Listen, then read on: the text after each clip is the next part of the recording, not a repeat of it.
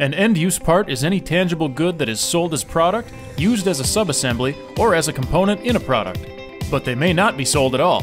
End use parts are also placed in service within the company's own operations. For example, a component used on its packaging equipment. Almost all industries, from consumer electronics to aerospace and military, sell end use parts, and they come in all shapes, sizes, and materials, from plastics to metals.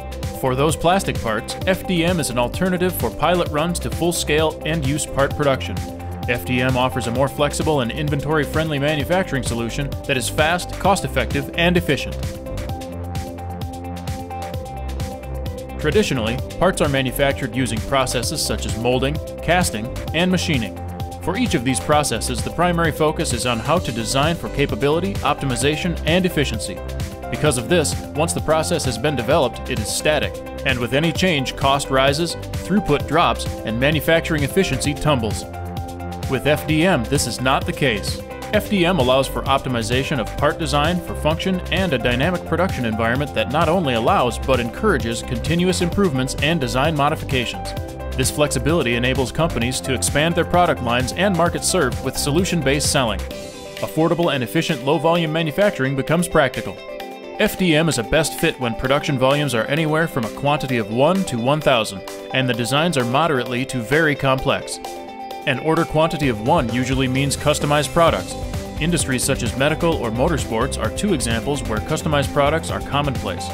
In the medical field, FDM is used for things like prosthetics and surgical guides. In motorsports, manifolds, instrument pods, and hood vents often rely on FDM. Aerospace is an example of low volume, high value production, which is ideal for FDM. FDM is used for end use parts throughout the entire product life cycle. During the alpha and beta phases of product release, it can be used to make parts for pilot production runs. Some will use a raw FDM part, others will use secondary operations such as sanding, filing, or automated processes to get production ready parts.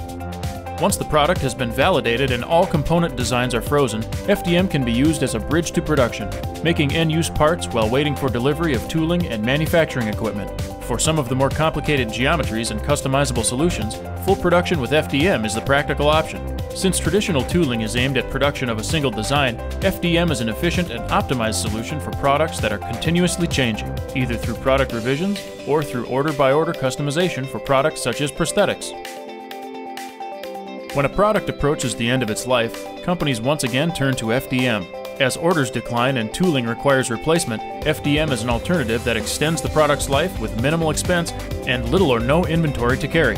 In this phase, or after a product has been retired, FDM can also continue to manufacture spare parts as they are requested.